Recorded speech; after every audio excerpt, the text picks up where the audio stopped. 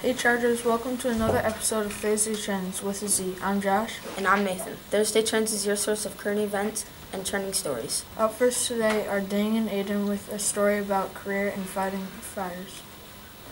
Hello, I'm Big D. And I'm Big A. This segment is about firefighters. The legal limit to be a firefighter is 18 years old. Entry level firefighters make 38 to 88k a year. That's 38 to 88k more than I have. S- Some of the duties firefighter have is Respond to emergencies. put out fires using water hoses, fire extinguishers, and water pumps. Prepare when reports about emergency incidents. I got a joke. What happened to the firefighter who didn't do his job? What?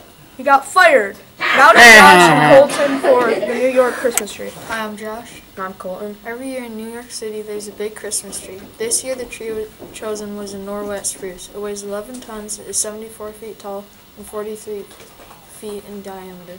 Every year, a man named Erik Pauze scouts 100 different trees across six different states. The tree arrived on November 10th, but everyone will have to wait until December 4th until the tree's lit. Up next is Viv. And I'm Viv. On this day in world history, Apollo 12 was launched carrying a crew of Charles Conrad Jr., Richard F., Gordon Jr., and Alan L. Bean. And five days later, the mission made the second landing on the moon. American politician Jane Byrne, who was the first woman to serve as mayor of Chicago, died at age 81. The Dow Jones industry averaged close above 1,000 for the first time.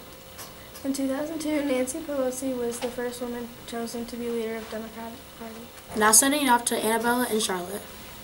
Veterans Day is a holiday celebrated on November 11th each year.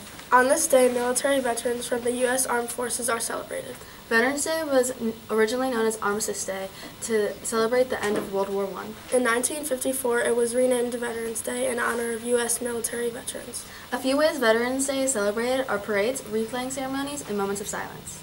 Be sure not to confuse this day with Memorial Day, which is specifically for veterans who have died while in military service. Lastly, thank you to those who've served for us. Now to Rishi and Vihan with a story about wildfires. I'm Vihan. And I'm Vienna Hughes Taller. Multiple states across the Northeast battled wildfires on Mondays as conditions remained ripe for blazes to erupt and spread quickly despite some areas receiving their first rainfall in over a month.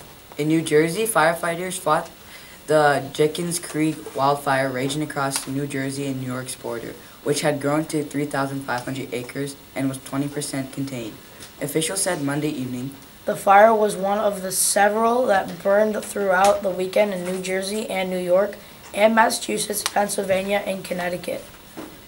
the result of a historically dry conditions across the region that were only slightly improved by the quarter inch of rain that fell Sunday night into, into Monday. Now back to the anchors. Thank you for watching this episode of Thursday Trendz. Make sure to check out Friday 5 tomorrow for all things CMS. Have a great day.